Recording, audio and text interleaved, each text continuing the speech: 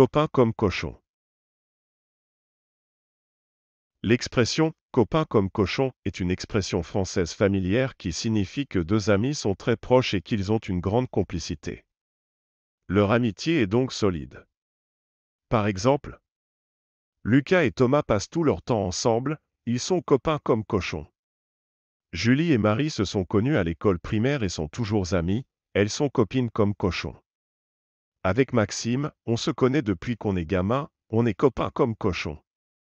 Cette expression est souvent utilisée de manière affectueuse pour décrire deux amis qui ont une relation particulièrement forte et proche.